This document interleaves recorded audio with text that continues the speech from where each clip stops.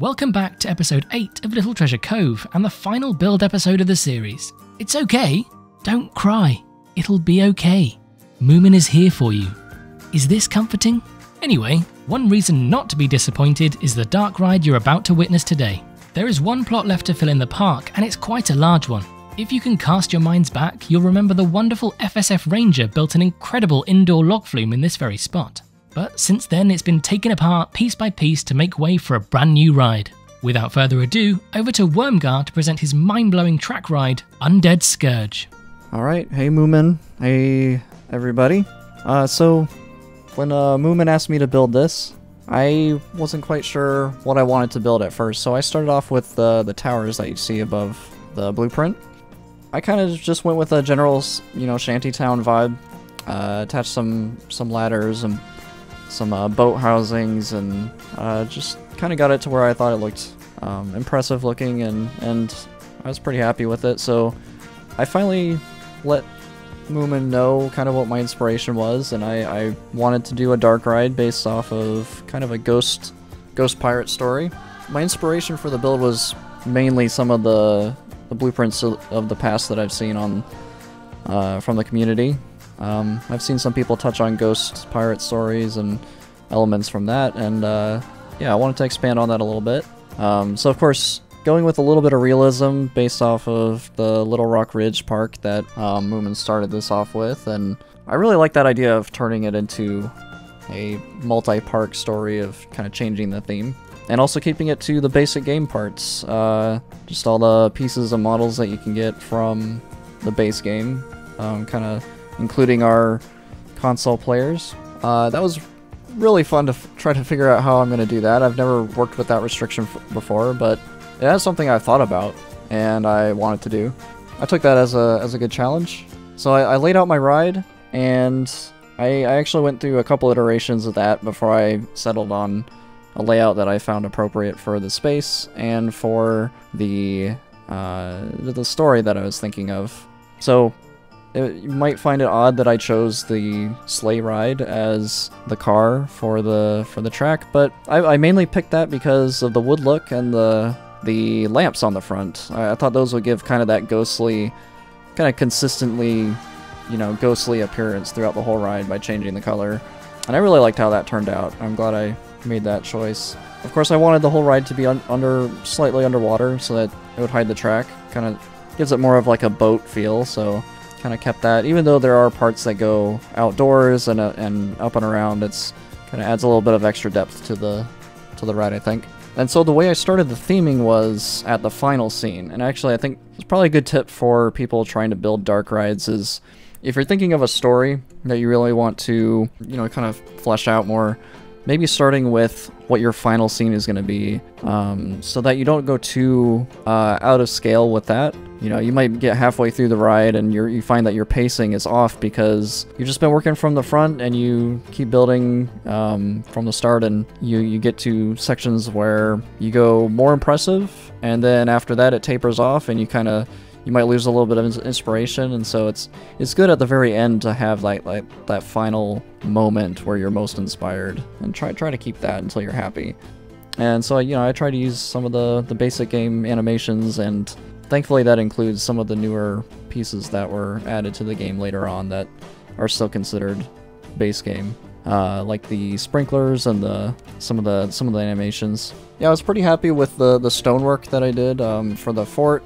Um, once I was done with all like the, the tunnel theming and the story is basically just that you're going through the sewers, so that was uh, fun to design, and, and then you come out through the, the shanty town and the pirates are being overtaken by the, the undead spirits who are getting revenge on uh, the soldiers that were keeping people in the town a little bit oppressed, so I think that's a cool little revenge story. Um, that was really fun to do with all the base game animatronics.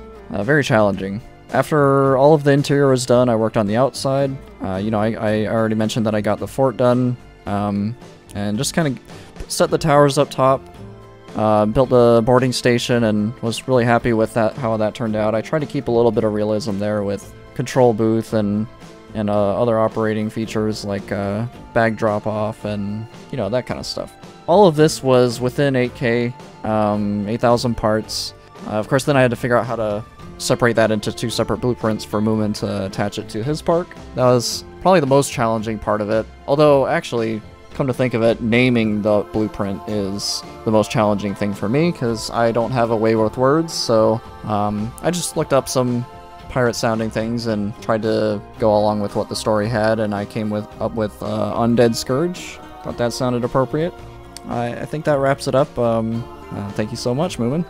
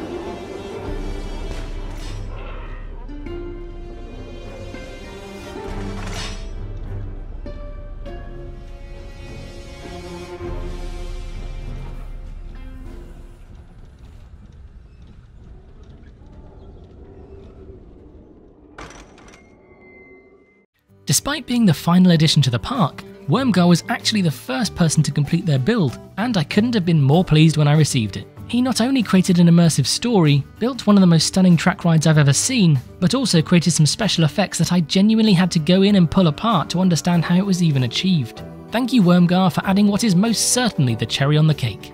So, rather than boring you with me adding the final details like bins and benches, we'll skip ahead and jump straight to the finished park. As you know, Little Treasure Cove used to be Little Rock Ridge, so what better way to show the transformation than taking a look at the before and after? The only difference being we go from amazing build to amazing build. Aren't we a lucky bunch? Starting off with a classic, in episode 1 of Little Rock Ridge, Yoda created Tomahawk, and boy what a fine example of a vanilla build this was. Responsible for replacing the sundial with a hammer swing was Poetry Slam 78, and my goodness did she deliver. One of the best creators when it comes to details, and she did not disappoint. Next up came Plastic Swan's beautiful Just a Memento, complete with an interior. Yet again, another example of incredible detail. And whose job was it to replace such a fantastic gift shop? That would be me. I have nothing to say about my own work, so here, just look at it for a moment. Next up came Nerd Chacho's phenomenal B&M Flawless. With its many inversions, it sat beautifully on the skyline and was a key attraction of the park. Tasked with replacing Tempestata was CoasterCAD, and to say he succeeded would be an understatement.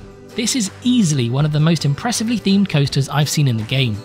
Over by the car park, the master builder that is Combat Wombat created this stunning Insanity skin, black gold.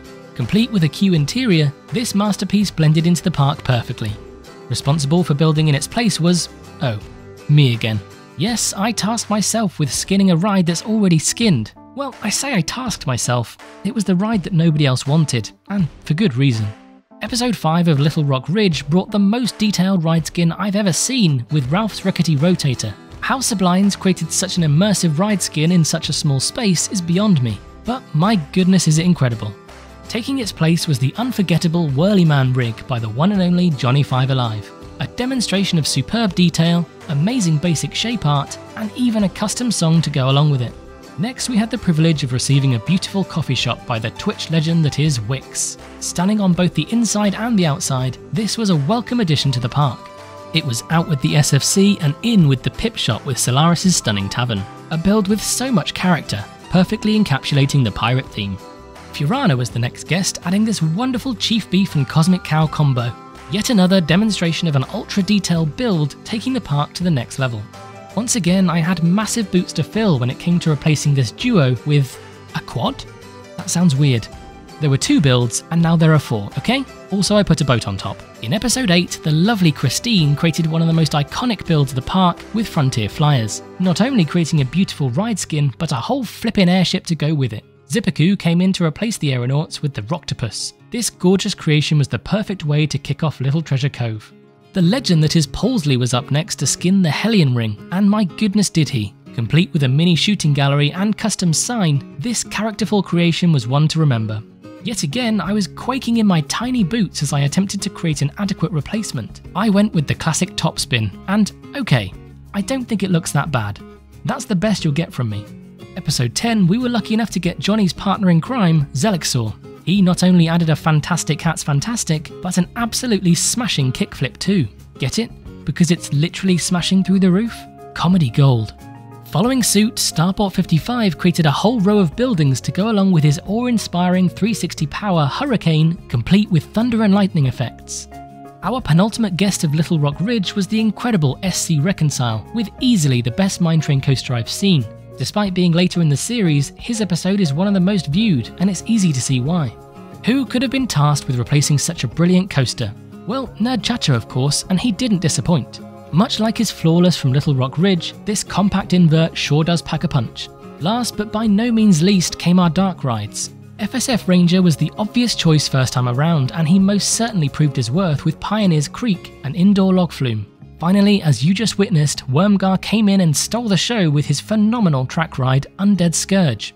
And there we have it, yet another park complete. The park is now officially on the workshop, so why not go and take a wander around yourself? I'll put the links for both versions of the park in the description. I'll be back in two weeks' time with as many of our guests as I can wrangle together for a park tour. I'll leave you with some extended cinematics, and I'll see you soon.